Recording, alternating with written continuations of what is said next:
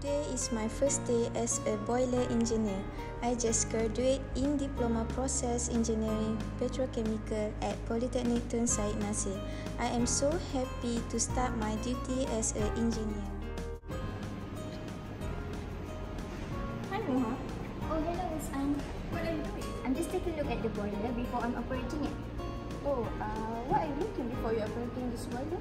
Oh, before I'm operating the boiler, I need to open the air vent so that the previous air inside the boiler is removed. But I have already removed uh, a little bit earlier. What is the next procedure? Oh, um, the next procedure is that we have to check the water level to make sure that it is 75%. Okay. But it seems the water level is not enough. Yeah, but I need your help to turn on the pump because only engineer is allowed to.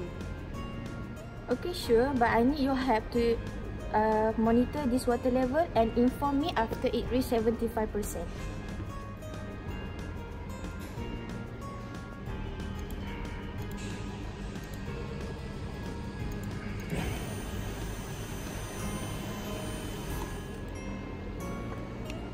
Noah, I already... You open the pump?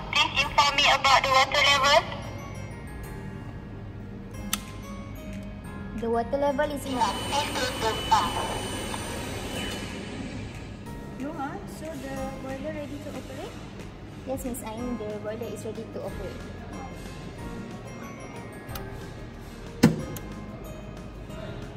How do you know the steam is ready to run the process?